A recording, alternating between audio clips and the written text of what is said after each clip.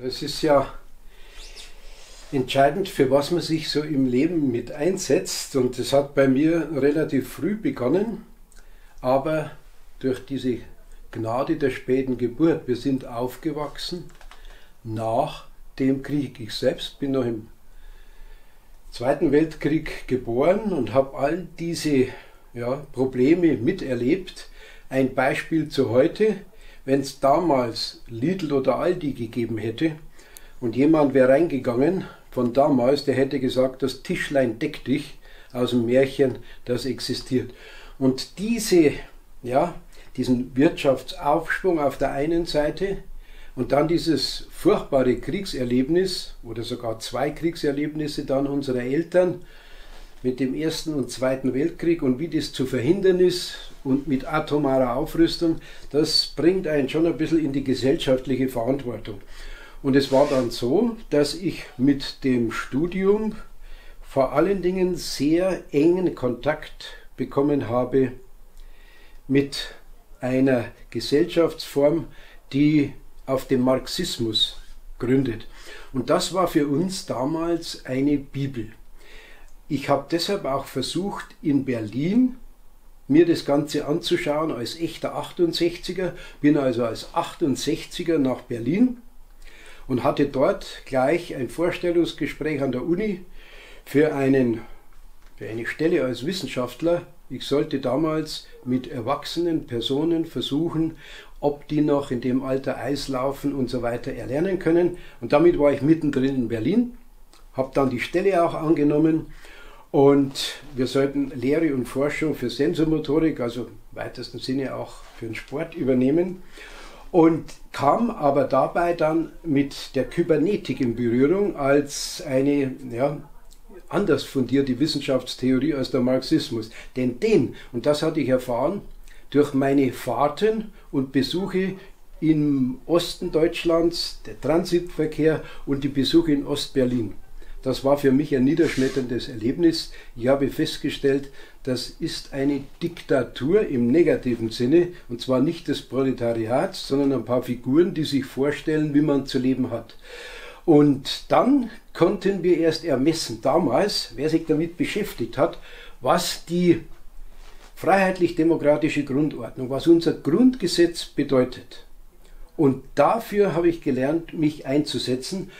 Das findet man auch immer in den Büchern. Das erste, was ich also geschrieben hatte, das war ein Buch über die Zeit zwischen 1945 und 1968 in der Stadt, in der ich aufgewachsen bin.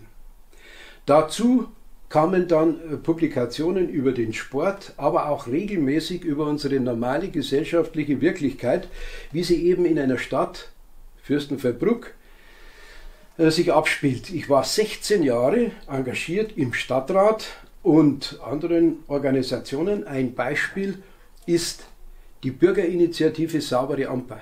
Dieses Engagement, dass wir von unten uns engagieren dürfen für Themen, die uns elementar berühren, wie also Wasser, wie die Amper, die von einem Tag auf den anderen gesperrt wurde, weil sie dreckig ist weil sie bakteriell verseucht ist. Die Frage, wie kann so etwas sein, wie gibt's das? Und da bin ich zum ersten Mal auf Tricksereien gekommen, wie sie meinetwegen die Staatsregierung macht. Die schreibt, beziehungsweise kann man überall lesen und wird auch darüber gesprochen, Unsere Seen, gemeint ist das Fünf-Seenland, haben Trinkwasserqualität. Und wir sind damals draufgekommen, warum? Die haben rundum Kläranlagen, sogenannte Ringkläranlagen, und das ging alles, der Dreck, für 150.000 Leute, der ging dann in die Amper. Dort war aber kein Klärwerk mehr für so viele Leute und so wurde die Amper verseucht.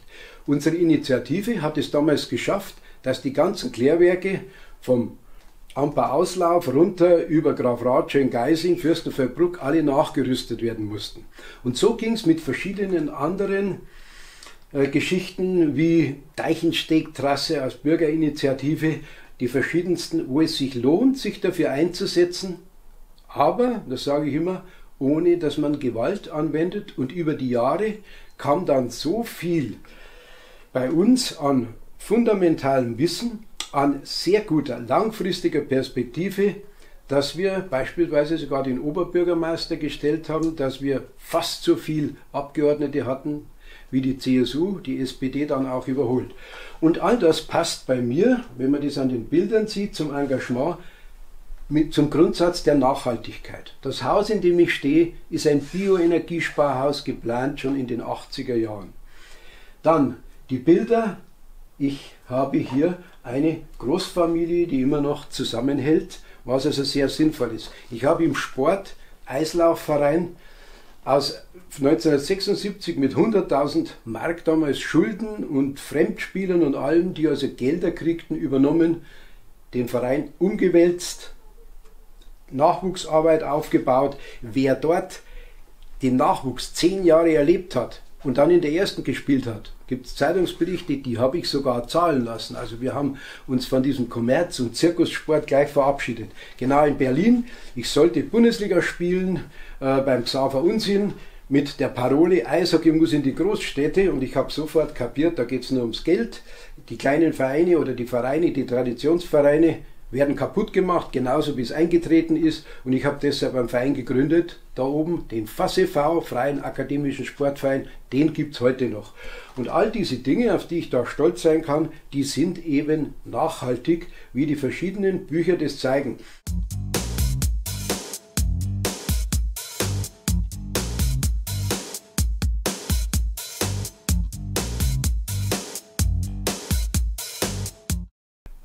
Ja, diese pädagogisch orientierte Sportausbildung endet nicht wie bei den anderen im Training äh, und dass man im Spiel die Leute aufeinander hetzt. Schrecklichstes Beispiel, das ich vor zwei Jahren erleben musste, da hat ein Verein einen anderen im Nachwuchsbereich bei 10- und 11-Jährigen äh, mit 52 zu 0 abgefertigt, ohne dass so jemand bestraft wurde. Ich habe mich entsprechend darüber aufgeregt, denn meine Sachen sind andere in diesem Heftchen, das ich vor mir habe, da wird der Sport zu etwas anderem benutzt. Die Motivationslage wird benutzt. Also zur Bildung.